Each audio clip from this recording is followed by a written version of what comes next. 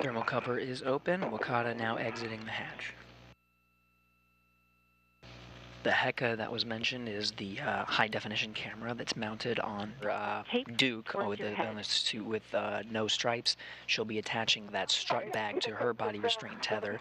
Attached to uh, Koichi is uh, a bag. For this first hour, we'll set your MEDOX for the rest of the EVA, so just take it nice and deliberate. Take it easy.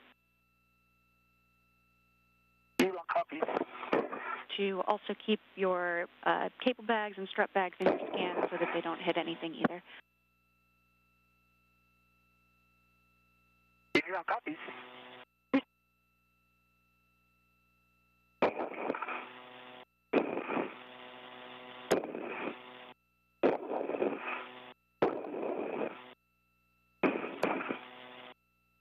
Body restraint tether.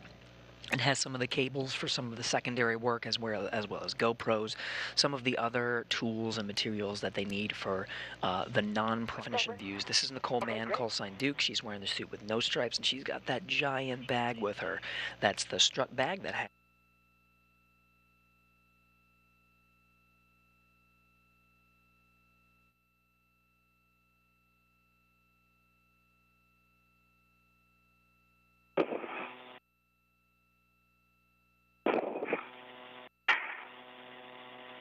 Okay, uh, I got a green light.